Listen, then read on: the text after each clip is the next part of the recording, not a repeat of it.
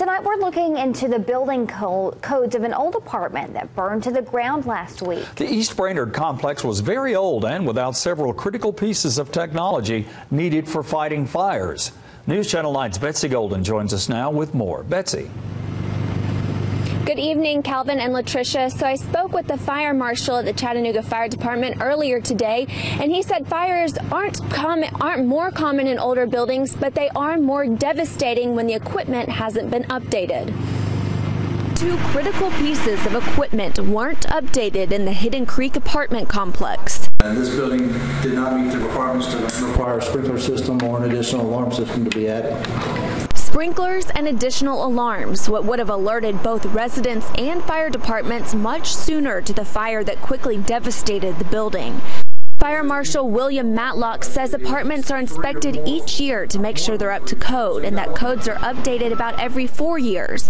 But those updates usually only apply to new construction. The standard continues to change, and unfortunately, a lot of times when the code changes, it's due to an incident. He did not know the last time Hidden Creek had been inspected, but said it did have recently serviced fire extinguishers. There were fire extinguishers in place, but again, the lack of early notification, I think, hindered this so that by the time everyone was alerted to the situation, the fire, the fire was too big for the fire extinguishers to, to do their jobs. Twelve families were displaced from the fire, and several of the renters were without insurance.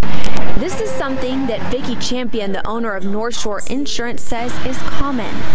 She strongly recommends people get renter's insurance and that many times people can get it for as little as $12 a month. There are um, four basic parts to a renter's policy. You get guaranteed replacement for all of your personal property. You get loss of use, you get personal liability, and you get med pay. Just is that you're at the mercy of the apartment next door to you. The person there, they may be smoking, um, be using a grill indoors. They may leave oil on the stove, a candle burning.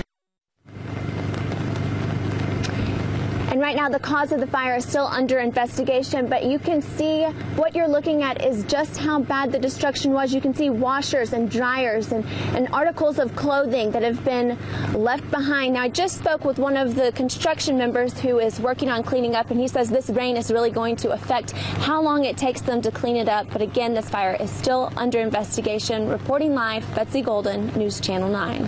Thanks, Betsy.